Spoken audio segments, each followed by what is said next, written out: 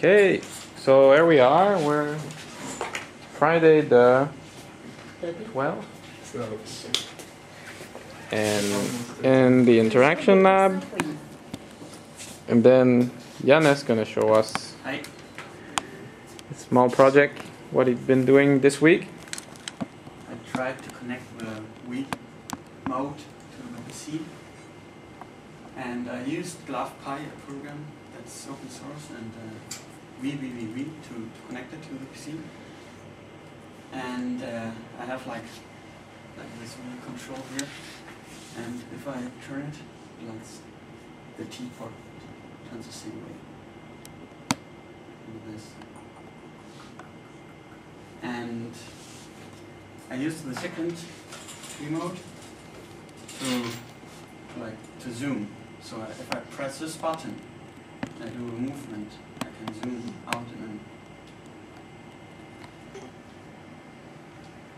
And I can rotate it at the same time. And then I used, uh, if I press this button, I should be able to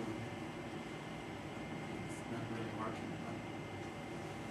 But because there are the infrared lights, and I can move it around.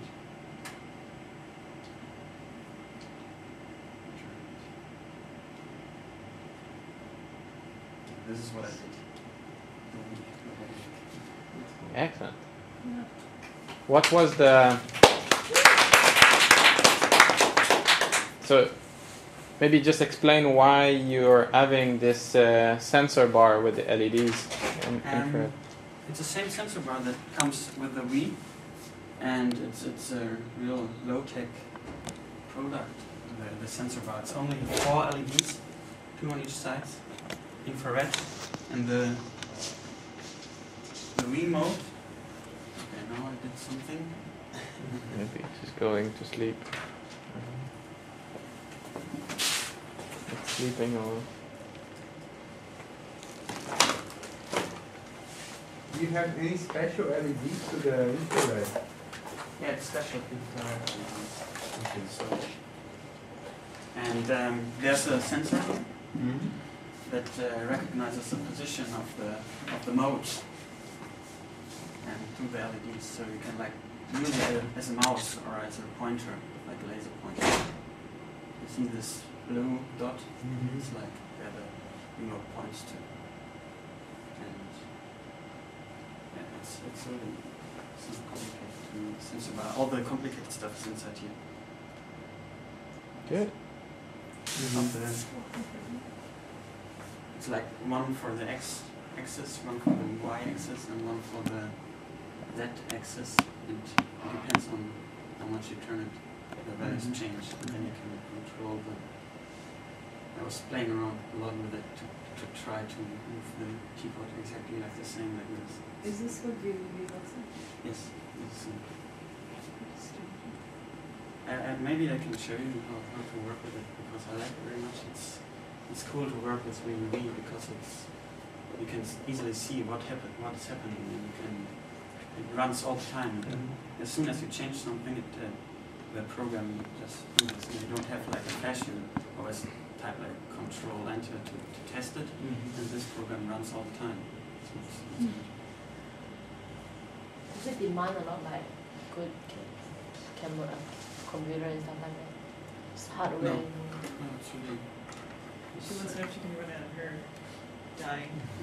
And uh, I can I see that these lines that you connect with Yeah. these boxes, you, you can connect either to the like to the corner or in different position. Does it de- matter? It depends on the nodes. You have like um, there are different nodes, different boxes, different kind of boxes, Okay. and some have like this one. It has a lot of connection points. Every darker dot here is a connection point. Uh huh. You can connect to different stuff, and if you like, and yeah, maybe I can can give you some introduction to it, but because it is uh, more complicated and uh, with some some more easy stuff to show you how it works. Yeah, I would love. Yeah, I'd love that too. Ne- next week we should uh, have a session with him. Good. Don't need to write any code. No, it's a, Graphical. a graphical user program, graphical programming language. They call it. And this is the program I use to read out the data from the Wiimotes. It's called GlovePIE, and it looks more like Arduino with this language here. But it only sends the data to VVV. And I did all the programming in VVV. Cool. it's very good. So next, you. Me? Yes.